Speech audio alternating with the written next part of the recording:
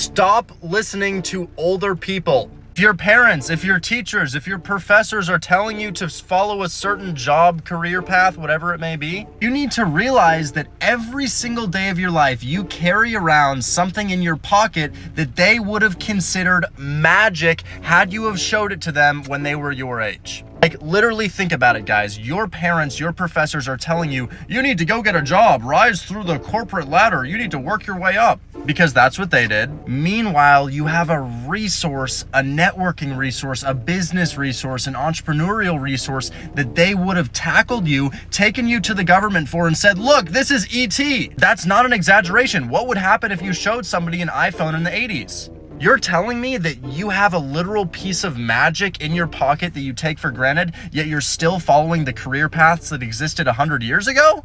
Oh my goodness, wake up!